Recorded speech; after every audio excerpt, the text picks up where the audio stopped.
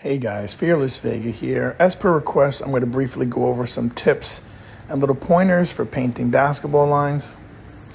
You're going to notice in this video, there's no tape on the floor, nothing covering the edges of the lines, and that's intentional as this customer did not want the lines to look crisp. They wanted it done quick. They didn't really want to wait um, for the process to be longer as they were pressed for time.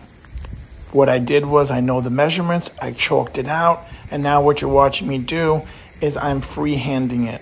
I'm also using a line striping wand. You can get that at one of your local hardware stores.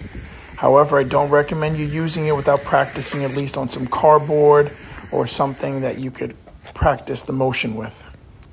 If you guys like these type of narration videos that I can go more in depth, explain other things that I'm doing, please leave me a like, leave me a comment below, and please subscribe.